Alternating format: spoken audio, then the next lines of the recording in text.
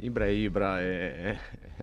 è un'entità talmente alta che lasciamola star lì e sì, è un giocatore incredibile che ho avuto la fortuna di giocarci insieme ed anche contro durante tutta la mia carriera. Sono contento di quello che sto, che sto facendo, mi sto godendo ogni momento e paradossalmente di questa vecchiaia calcistica me la, me la sto godendo ancora di più perché poi dai 32-33 anni in poi veramente mi sono goduto ogni istante molto di più di, di anni, degli anni precedenti che magari sono arrivato anche eh, più avanti in tante competizioni.